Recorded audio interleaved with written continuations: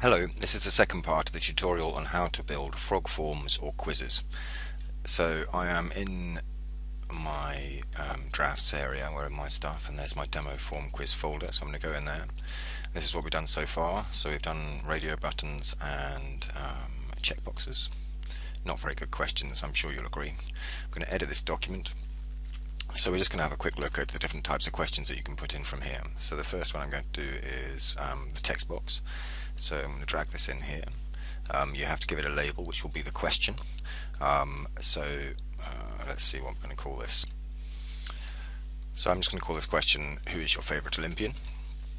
And you can see it appears there and the question is in the same small text so there's a default text for all of the form stuff remember this was a text and pictures brick um, so I could change the size and um, uh, formatting of the text um, so all the, the um, recipient of this quiz would um, put in here is the name of, uh, of who it is that they like most in the Olympics.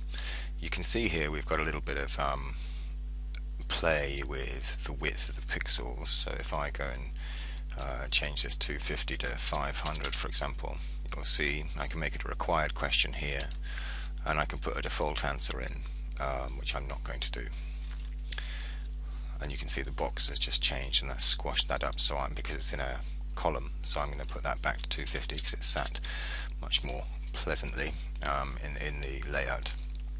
Um, so that's uh, the text box um, and then we have sorry here we have the big text box. Okay. So in the big text box um, I'm going to do um, another kind of question. So I'm just going to ask them to explain their previous answer, like so. And you can see again we have problems with the layout, so these things don't just sit nicely in one place and then the other, and they kind of go a little bit. It's according to the length of the text that you put in here. Um, when you go back to edit these, um, what's happened now is that the database entry has been created, so you can no longer edit this text at the top. Um, this is similar to um, one of the questions we were doing earlier, I think, under the, the radio uh, sorry, the checkboxes. Um, and again, you can put a default answer in and you can specify the height in this case. So we'll just go and change that so you can see what's going on. Um, and you put a default answer and we have it as a required question or not. Click on OK. So you can see the height of this box has changed um, completely. Might make it easier, depends on how much you expect the individual to write.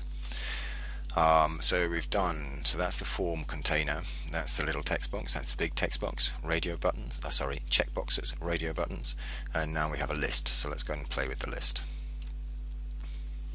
Um, label, um, so uh, pick your favorite. So this might be a better, um, this might be a better way to put um, uh, to set a list um, to, to do this question, who is your favorite Olympian, you might want to pick from a list of 10, for example. I'm going to double click this to set my list now. I'm going to pause. Um, oh, yeah, I'm going to pause while I set this out. So all I'm doing here is similar to the radio buttons. Um, I'm adding um, different possible answers to my list. Um, so I think I'm just going to go for the last one, which is Lemaitre. I think these are all the people. I've given them all a score of one, so they're all equally valued. Um, and click on Add. Again, I can move these up um, and down. I could put them into um, alphabetical order, for example, um, and uh, like so, nearly like so, um, if I wanted to. Um, again, you have this uh, score instead of option value. I'm not sure what that means, but um, we'll see. And like so, and then we've got a height for the list, which I'm going to set at 10, just to see what happens. Click on OK. So we scroll down, and there you can see the list is there. So the list length is obviously completely out. So I'm going to put in um, just one, and click on OK, and then it is quite nice and it will when we preview that um, hopefully you'll be able to see that that's a drop down box like so. This box is obviously a bit big but again it would encourage the person to write the right amount of text.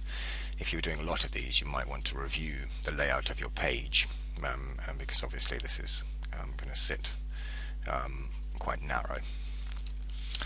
Um, have we finished? Let me have a look. So we again container text text checkboxes, radios, uh, list, and then hidden. I have no idea what this brick does, so maybe I should find out and then come back to the video. Okay, as far as I can work out, um, the hidden brick doesn't do anything that I can see and it's not in Frog's tutorials on their website so we're going to leave the hidden brick alone. The submit brick I've shown you um, the username is this I think it's just the form to diary I'm not sure about that. I'm not going to look at it. Form file select I'm not going to look at that. And then form results I show you that in part 3 so I'm going to publish and exit here and hopefully all be well.